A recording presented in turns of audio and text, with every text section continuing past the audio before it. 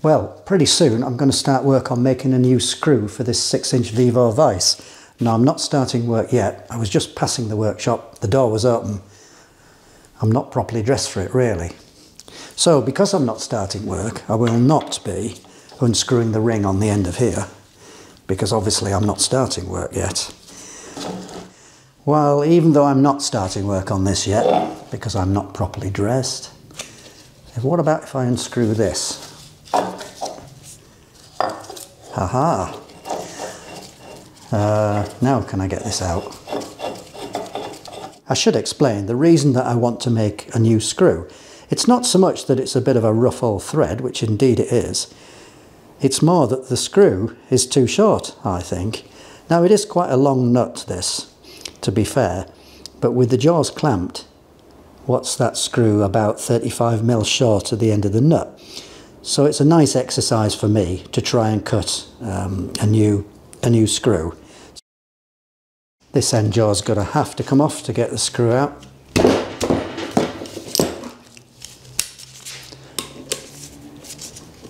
Eight millimeter, oh, five sixteens, Allen key, cap heads. Eight mil is five sixteenths, isn't it? Near enough.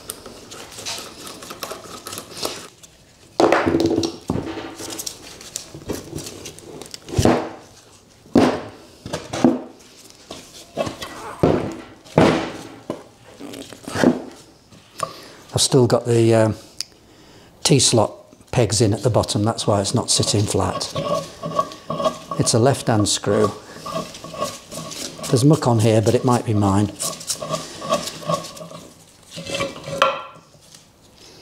There's the nut. It's quite beefy. And the thread looks quite reasonable in there. Better than the thread on this screw. So this is what I'm going to make the new screw from. It's a Volkswagen Passat half shaft. It's really nice material. I was doing some parallel turning tests, that's why that's nice and bright. Now this is 27 mil and this is 27.65 so it's absolutely perfect for this as long as it's not too tough. I don't think it's going to be too tough. So end of prep I'll come back when I'm properly dressed and ready to make a start.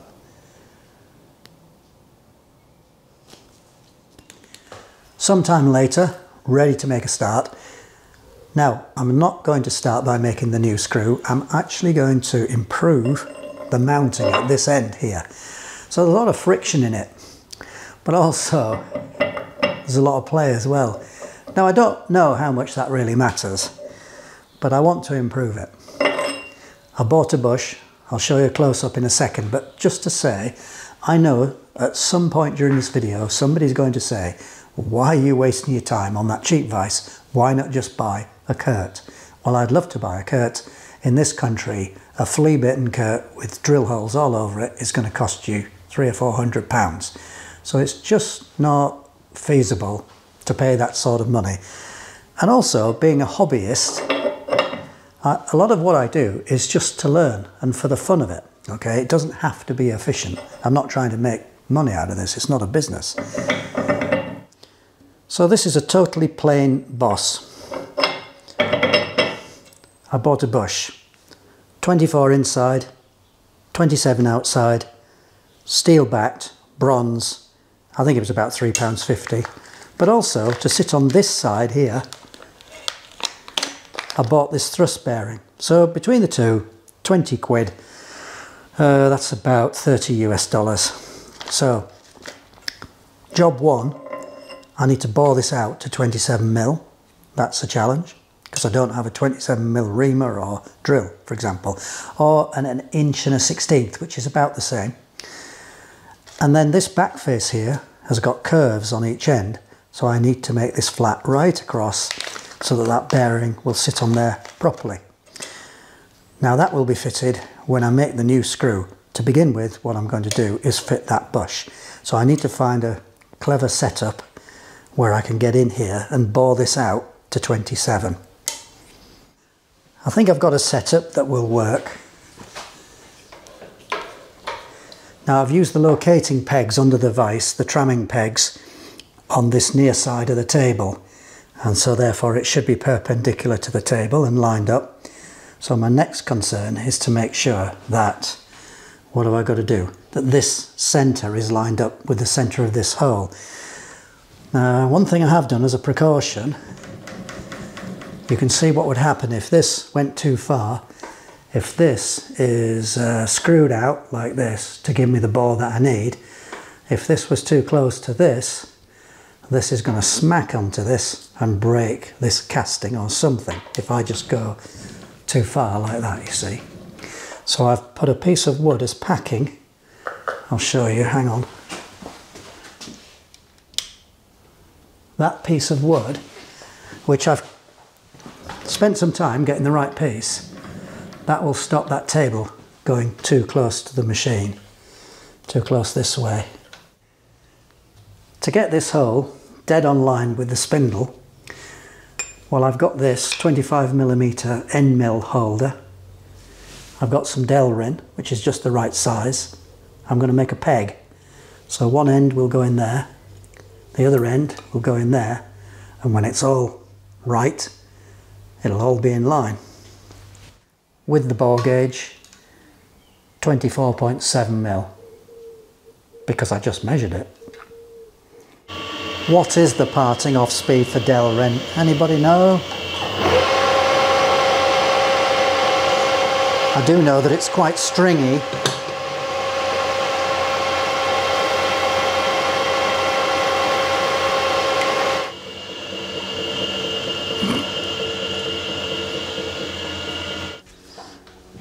No naughty comments, thank you. Oh, that's pretty good actually. Look at that, eh? Mm. My boring head is imperial and every division there is a thou. And if I remember correctly, this is calibrated on the diameter, not on the radius. Because I'm shooting for metric sizes with an imperial boring head. So 24.7 millimeters I think is 0.972, 27 is what I need, 1.063, added up 91 thou. So if I can dial off 90 thou on that boring head, I should be about right, but I'll check it as I go along. Right, here goes. This will be 10 thou off the diameter, or the radius. We'll see.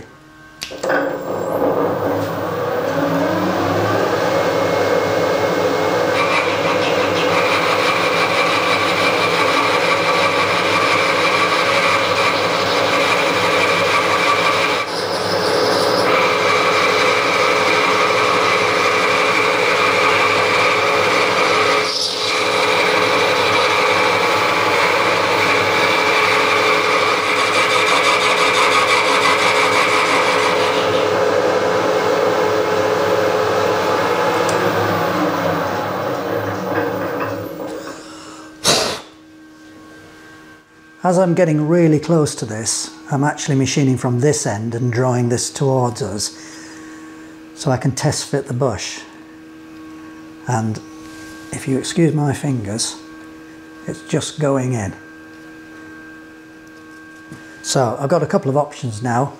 I mean, I could tap that in. If it was machined right through, I could tap that in and I could Loctite it, or I could actually reduce my cut very slightly and that would allow me to uh, make it a slightly tighter fit. So before I press this bush in, I'm going to machine this face flat for this bearing. So this bearing is 42 outer, 25 inner. And when I make my new screw, I'm going to make a step on the screw to take that 25 there. This bearing number happens to be an 81105TN. I just chose it for size, that was all. And then when I've pressed this in, I may try and get this hole at the top in the centre. Not that it matters too much to be honest. Oh, I should say by the way, uh, before I bored that hole, I made sure that the hole in the nut, the threaded hole in the nut, did actually line up with the hole. So when this nut was manufactured, they did seem to get that lined up okay. Because if it had been out, I would have used this opportunity to correct it but it seems fine. This bearing is going to go there. Now it won't lay flat at the moment because there's a curve on either end of this boss here. So I'm going to machine these corners out so that I can get this flat. But also I need to take a bit off there. Now with this cutter, which is the longest I've got of that diameter for the Clarkson, I can't get right to the bottom. But what I'm going to do though is touch off on this face, move across, cut these radiuses out, radii is it? Down to about there as far as I can go. It'll be enough. And then I'll come back with a longer, bigger cutter, just kiss this face and machine a bit off here. We were always told that fag paper, cigarette paper, is about a thou. Although when you're touching off on the side of a cutter, it's really quite difficult to see what you're doing. There it goes, I think. Now I'll lock the table at that, in this direction anyway. Sorry, where are we? Can't do it. This direction. I've lined this vice up on the table at 90 degrees to the travel using the two tramming keys that I made under here and those were cut relative to this jaw sitting on there like that. The question is, is this face cut along the line of the table travel or is it like that or like that? I don't know. Let's just see what happens as I go that way. Now, as we are now, we're conventional milling, not ply milling. Oh, it seems to be okay, look, it's taking that bit of paper with it, but at this stage it's not taking anything off this face here, so that's quite promising. So we'll get this into the corner and see what happens. We could probably go a bit faster, couldn't we? Let's try a plunge cut.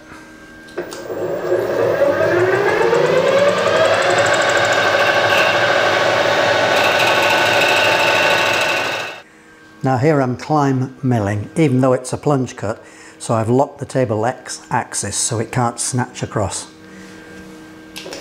Just to be super careful.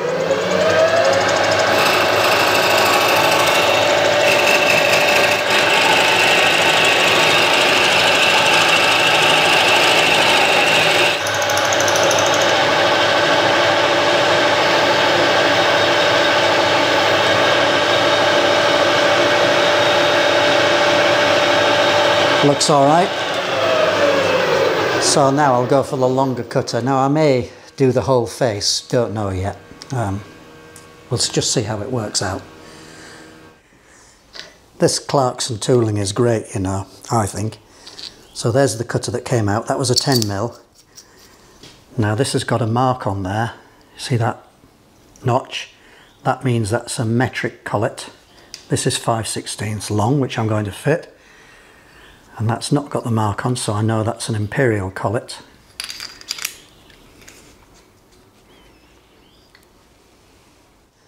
Back the cutter off. Turn the big nut till it touches. Move it back a fraction. Turn the cutter till it stops. And then lock it. Just a little tap. That should be enough so I've just scraped the paper off with the bigger cutter. And so I'll move this down and just take some out of there, which is just catching the bottom of the bearing. So I only need to do from about there to about there probably.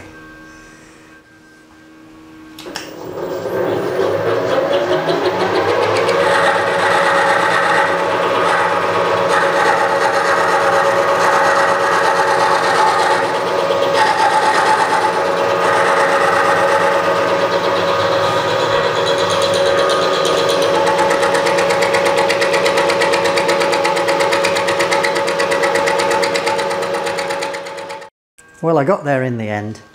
I skimmed the whole face. Don't worry about these lines, that's just a bit of spring back on the cutter. I've machined this part of the screw down to 24 to fit this bush, it was 24.3. I've got some soft lock, I don't want super tough lock. and we'll just tap it in. Now I know it's 15 from there to there. I've machined this to 28. Not easy, can't clamp it too tightly in the lathe chuck. And as I was working on it, of course, it was sliding into the chuck. So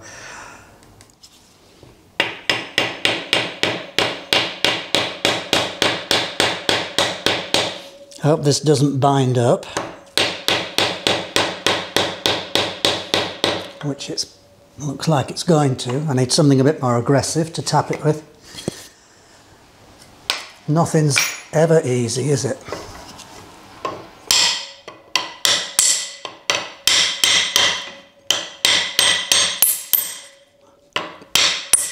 I didn't think this was going to be as tough as this.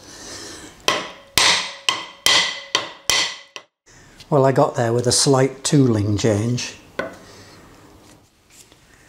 I did query the colour of this because it's supposed to be a bronze bush in a steel back. But when I read the write-up it says the bronze is in some kind of polymer for low friction so I have to assume that they know what they're talking about.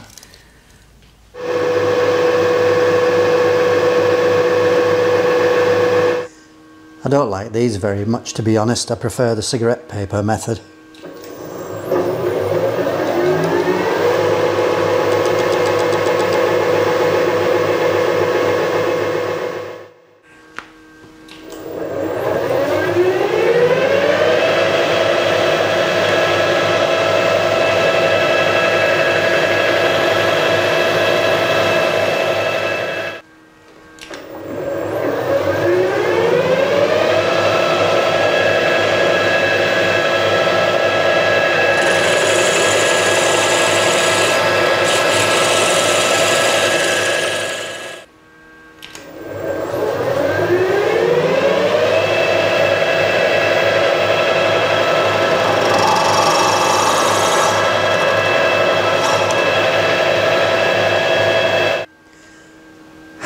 Reamers are tapered.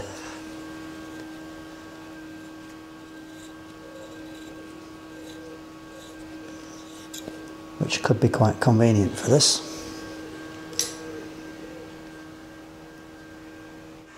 I mean that hand reamers have a tapered lead. That's what I mean.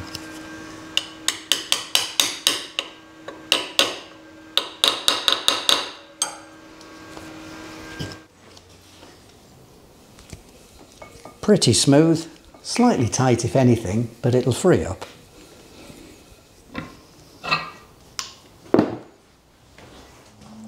Well that's it for this one. Next job will be machining the new screw. I hope that goes okay. What the flip am I sitting on? Oh, a bit of stock for another job coming sometime. Thanks for watching.